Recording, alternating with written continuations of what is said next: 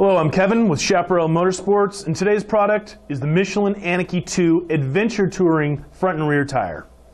You may, of course, ask yourself, why this Anakee 2 over so many of the other Michelins that are out there? Well, the Michelin Anakee 2 is an all-in-one tire. There will be no need for you to choose between grip and durability. These tires offer the best of both of those worlds. It's an adventure tire proven to, to deliver both stability in wet and dry conditions, and of course, tire longevity. This tread design.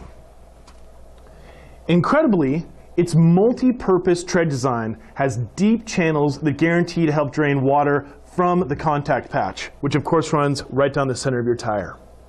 Plus, it's got a silica charged rubber compound, which benefits the tire by improving performance both in wet and warm weather, without compromising tread in either.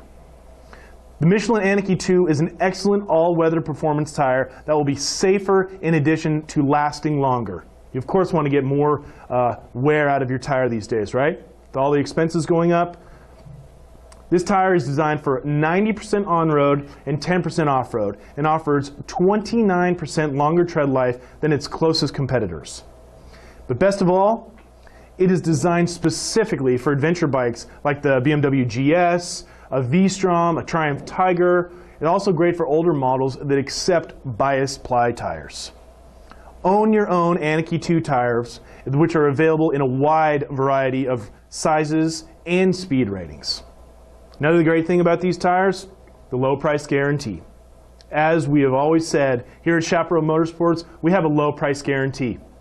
If you're ever able to find a lower priced tire from an authorized U.S. dealer on an in-stock product, just call us or email us and we will match that verifiable price.